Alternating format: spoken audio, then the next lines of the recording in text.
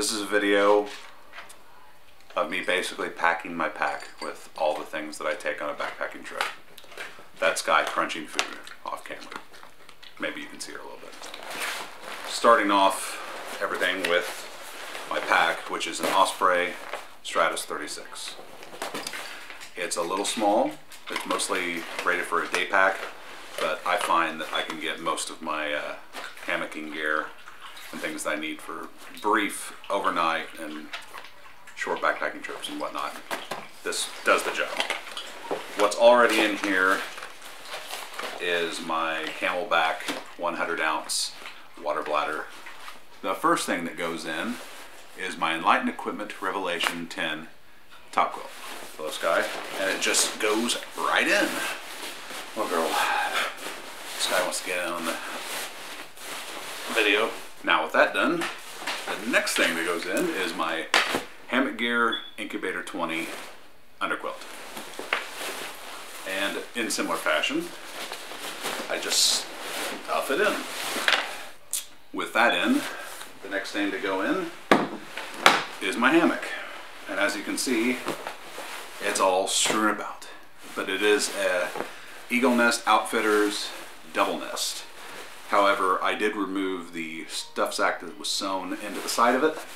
It was kind of coming unfurled anyway. And I just want to free up the little bit that it did, which was only one ounce. And I'm taking a bug net. This is an Eno Guardian bug net.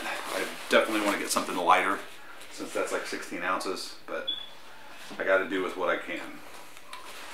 I'm also going to push, put the rest of my sleep system in there, which this is just a uh, neck pillow. It's the only pillow I use for my head. But I do pack another pillow, and that is this monstrosity, which actually I use under my knees, but I'm thinking about not using it anymore. But for the time being, I'm going to pack it anyway. Just as another precautionary measure as a balaclava, because it's supposed to be 30 degrees overnight. So, let's see. I also have a Sea to Summit dry sack. And now this, I'm going to stuff a lot of the smaller stuff in, like my 25 feet of Lash-It, which will be used as a ridge line for my tarp. I'm also going to put my Dyneema strap, tree straps in there, as well as my stakes with uh, each stake has about five feet of Zingit added to it. And I also have some lightweight carabiners that came with my Eno double nest, which I'll use to attach the whoopee slings to the tree straps. And they'll all go in dry sack. I'm also taking a little power bank battery for recharging my cell phone. I'm taking a Frog Togs poncho, and that's going in regardless. Even though the weather calls for completely clear skies, I don't care. I've been caught way too many times with my pants down because of stupid weather, and I'm not letting it happen again. And yes, I'm putting it inside my pack. I can easily get to it if I need. It's not that big of a deal. Uh, I do take some ibuprofen and headache medicine, and also I'm on a daily regimen of doxycycline, so I also put that in there. Inside the top of my pack, I put my headlamp, which this is just a cheapo Coleman headlamp. We're going to be trying out the Sawyer Squeeze as our uh, water filtration system. We still have the Katadyn Vario, which we've taken out for like a year, over a year now. And it's worked out really well, but I need something that's lighter weight. The, the is 20 ounces. So this is so light and I, I just, I wanted to try it out to see how well it would work. And I'm taking both 32 ounce bags and the, the plunger, even though I don't think I'll need the plunger. But I'm leaving this end on because my intention is to fill the bladders while they're still in the packs. And I tested this out at home and it fits right on there and I can compress the, you know, squeeze the bag in, hose stays on, everything's rock solid. I couldn't be happier. Um, also with the 32 ounce bags, I know each bag's a liter, so all I have to do for like for mine is three of these bags. For my wife, she has a two uh, two liter bladder in hers. I'll have to do two bags for her. So that's why I'm taking the extra bags just to so I don't have to keep running to the water as much. This is where I usually put my uh, Vario. Uh, my wife picked it up and she thought it would be useful as a sit pad. But basically, I forgot what it's supposed to be. It's some sort of yoga thing. Yeah, the only other thing I'm putting on this side is my little food bowl thing and Crocs, which are an absolute essential when crossing streams and whatnot. Pretty much one of the last things that goes on is my tarp.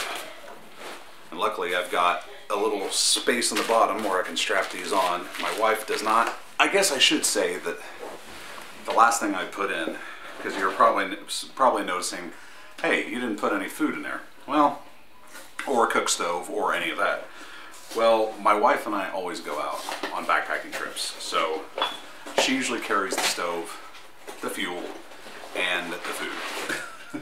Except unless it's on really long trips, then I'll carry my own food. But uh, mostly I carry my own granola.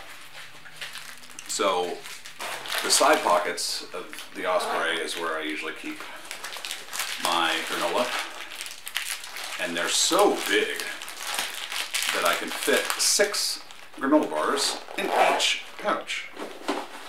And for a two-day trip, that's overkill. But I like to think, what if something happens and I end up stranded out in the woods for a considerable period of time? What am I going to need? I'm to need food. What am I not going to have? Food because I didn't pack any. So at least I'll have a bounty of granola bars to uh, pull from. Let's see, we're looking at about 21 pounds, and that is fully loaded. So that's not too bad.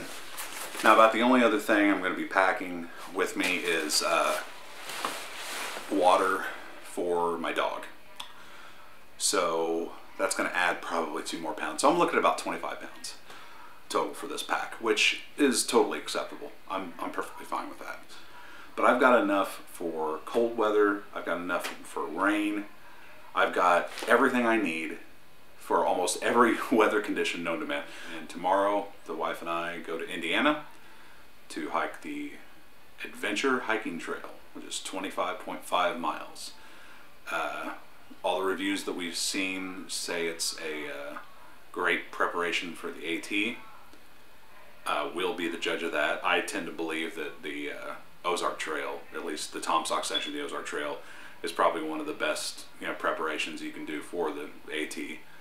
Uh, without having done the AT, it's hard for me to know. But next month, my questions will be answered, and these are questions that have been built up over the course of a year, if not more. So uh, I'm extremely interested to fi- figure it all out. I'm uh, I have this feeling like we're going to get out there, and after several days of hiking, I'll just be like, this isn't anything.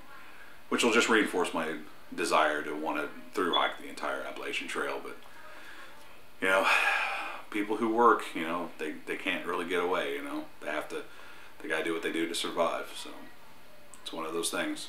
Anyway, that was my video. Uh, thanks for watching.